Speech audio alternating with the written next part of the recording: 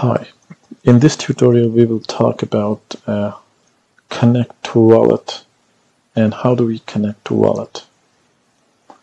So we have a function here called get client inside the Ankr client.cpp.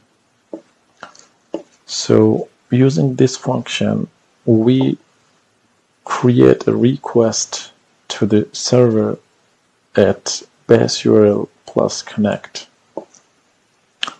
and to the server we send our device ID as a body param and then we process the request.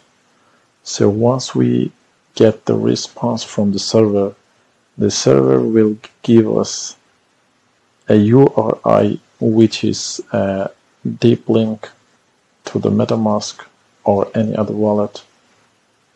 We have a session which will be valid or invalid depend depending on the backend server strategy and a login variable which tells us if we are already logged in or we need to log in.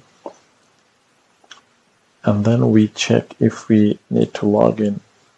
If we are on mobile devices we can for example if on android we can call this deep link and then it will open MetaMask.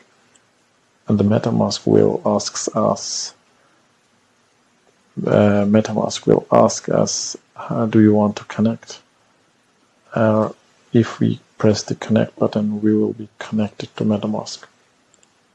So this is the connect wallet uh, part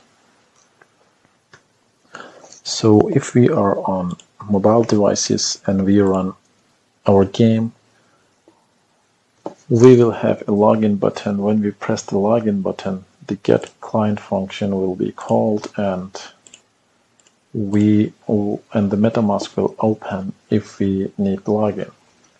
And on Windows, if we, if we press the login button, it will show us a QR code and we will open our MetaMask on our mobile device. And then using the MetaMask uh, QR code scanner we can scan this QR code. And we will be asked to connect to MetaMask or any other wallet. And once we are done we press OK. And then we can get the uh, wallet information like the account address or chain ID